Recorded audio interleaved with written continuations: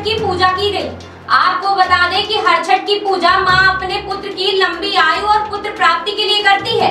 जहाँ शहर भर में महिलाओं में व्रत और पूजा के प्रति श्रद्धा की भावना देखने को मिली, वही महिलाओं के द्वारा अपने पुत्र की लंबी आयु की कामना के लिए अपने आगर में जाली चूली के समक्ष दूध, दही, महुआ, बाँस की पूजा अर्चना की गई। हर छठ की पूजा में महुआ का सबसे बड़ा महत्व होता है। आइए आपको ले चलते हैं हम रीवा ज़िले के कुछ घरों में, जहाँ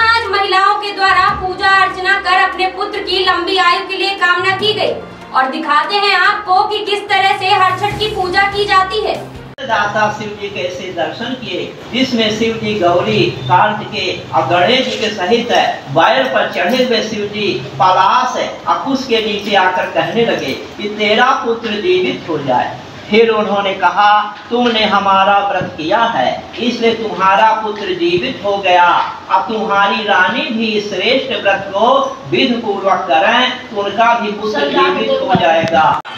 धाय के पुत्र को अग्नि में डालकर अपने पुत्र की याद में विलाप करती अपने प्राण त्यागने को तैयार हो गईं। और राजा भी व्याकुल होकर आत्महत्या करने नमाधार सकते नम भूमे नम स्वाहा।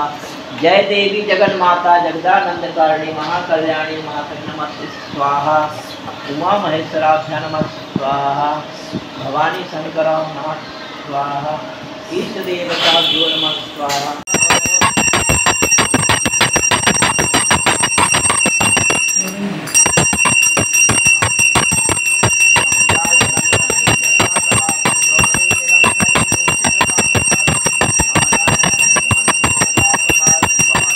भादो महीना के कृष्ण पक्ष के छठ प्राप्त हो नर नियम पूरा प्रातः काल स्नान करके व्रत कराएँ। क्रोध लोभ से वर्जित हो व्रत का नियम कर दी गई।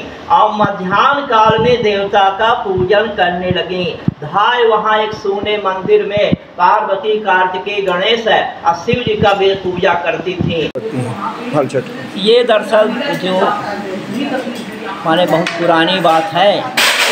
महाराज सुभद्र के राज में घाय थी। तो राजकुमार को लेकर खिल, माने गई नदी तरफ़ है। और इधर उधर चली गई, मगर ले लिया उस राजकुमार को। तो फिर गुस्सा में उनके जो भाई का पुत्र था, उसको भगवती आग में, माने आवा में डलवा दिया था राजा ने। तो वो जंगल में जाके शंकर पार्वती, कार्तिकेय, गणेश जी का पूजन करने लगी। और वहाँ जंगल में है, कुसा पलाश के नीचे जो है, माटी के शंकर पार्वती जी बना कर पूजा करती थी। महुआ, पसई के चावल यही मिलता था, यही खाती थी। और इसमें भैंस का भी महत्व, हमारे यहाँ सब जानवरों को महत्व मिलता है। इसमें भैंस को भी महत्व, भैंस का माठा, घी, दूध, दही सब खाना चाहिए। और फिर राजा जो है तो जब आबा निकाला गया तो उसका धाय का पुत्र जीवित हो गया।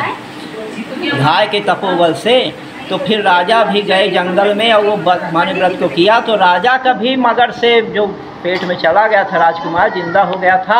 अनेक पुत्र हुए थे। हलखष्टी व्रत है और बड़ा महत्व है इसका। और आज बलराम जी का जो है जन्मदिन भी है। शुभ नाम आपका। हाँ, हमारा नाम दामोदर प्रसाद पंडित दामोदर प्रसाद।